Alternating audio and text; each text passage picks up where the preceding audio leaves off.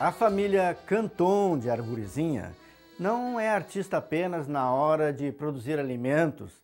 São cantores, escritores, arquitetos, fotógrafos e até curadores de museu, que trabalham para preservar a história e a tradição, não apenas da sua família, mas de toda a comunidade em que vivem. Elaborada em caráter documental, essa reportagem dividida em duas partes conta um pouco dessa linda história. Nós somos em dez, no caso, né?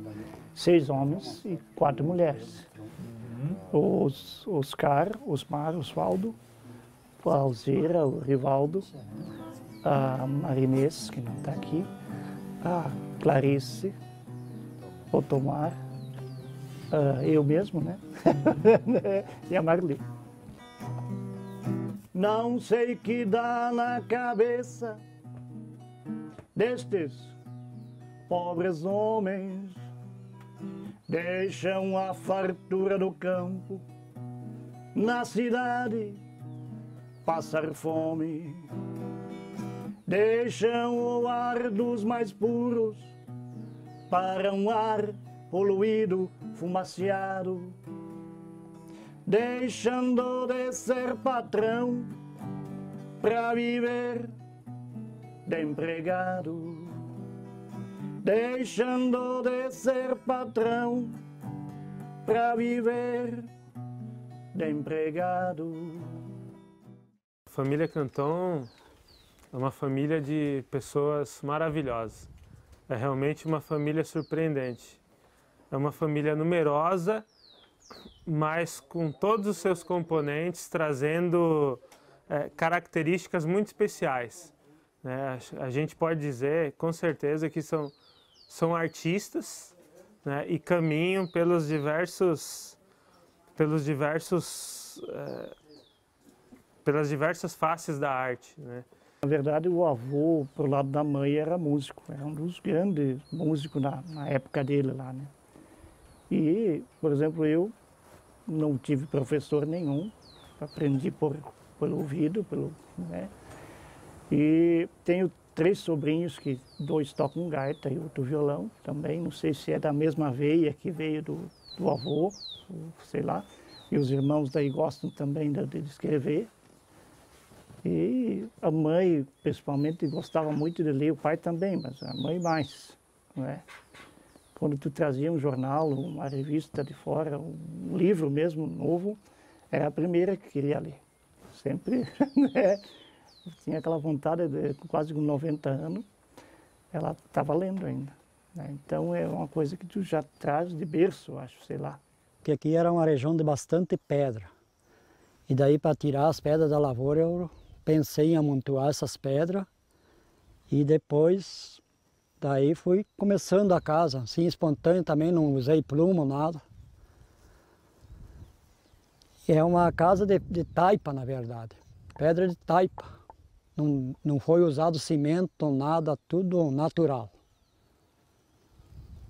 E já teve bastante pessoas que veio de visitar, até de, de outros estados, até de Palmito, Santa Catarina, já teve gente olhando aqui. Eu vinha trabalhar umas duas horas por dia, porque é um serviço cansativo lidar com pedra, é pesado. Daí dava uma caminhada, trabalhava um pouco, ia para casa, voltava no outro dia, quando dava. É um trabalho espontâneo mesmo.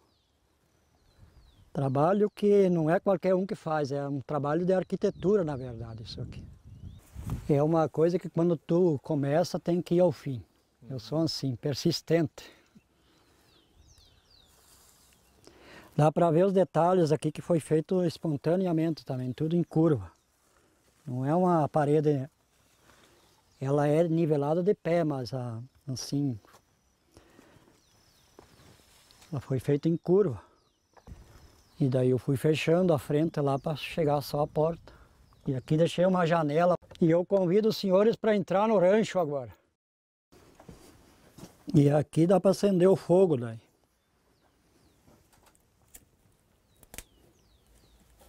Para preparar o almoço depois mais.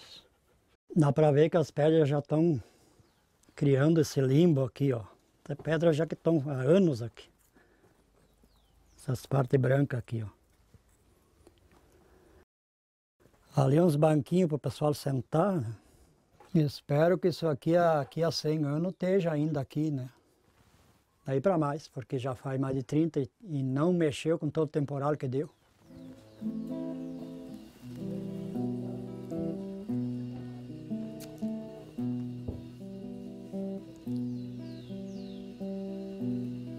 Toquei meu flete na estrada, pois saí de madrugada e segui a direção para sorver um chimarrão da mais pura qualidade, com gente de hospitalidade que mora no coração. Todo poeta, todo pajador, ele carece de pureza para compor um poema, para pajar, e, e, busca essa pureza, essa qualidade, essa essência nas formas diversas que tem pela querência.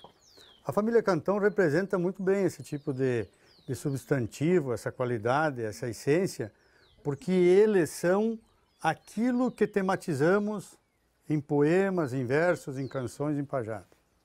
Eles nasceram dentro do regionalismo, dessa cultura terrunha do Rio Grande, se cresceram dentro disso e vivem isso. Tô virado em pena e bico por causa do chinaredo. É como meu pai dizia que o amor não é brinquedo. Toda noite eu saio e pego, levo uma pros pelegos. Toda noite eu saio e pego, levo uma pros pelegos. Felicidade eu acho que é um momento passageiro, não é tudo. Tem dias que tu tem algum problema, tem outros dias.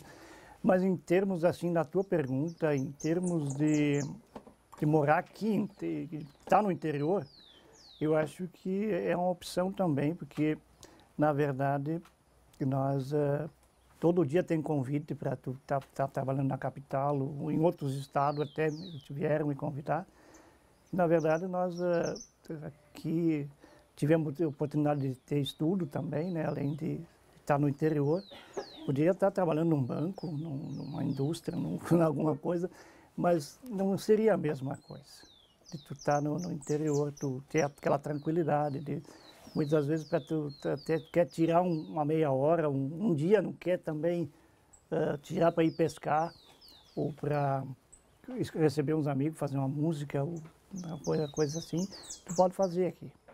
E muitas vezes, se fosse empregado, tu te, depende do patrão.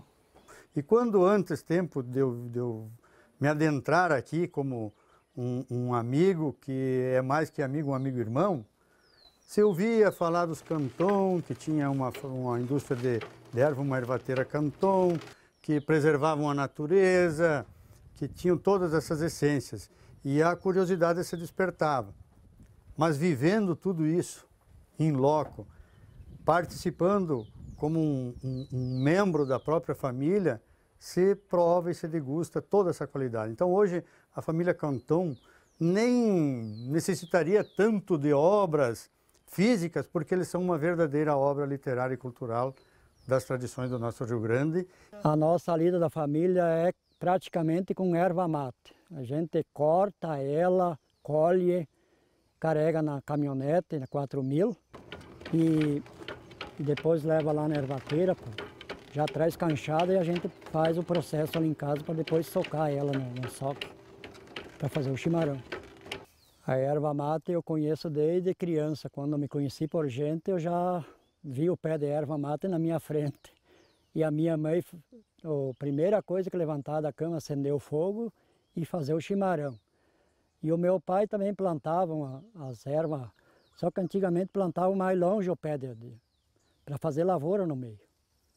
Era de 5 metros. Hoje em dia estão juntando demais, daí por isso que vai adubo na erva mata também. A família Canton, que é uma família de artistas, também faz a arte na agricultura. E isso é, é muito importante. É uma das faces mais bonitas do que a gente pode encontrar nessa propriedade, nesse lugar de vida. Eles produzem o próprio alimento, produzem a erva mate de uma forma muito respeitosa, muito honrada, é, produzem de forma agroecológica. Então, o que eles produzem é realmente o alimento. É um alimento que vai fazer bem pelas propriedades específicas né, de cada produto e também pelo processo produtivo, que é um processo produtivo limpo.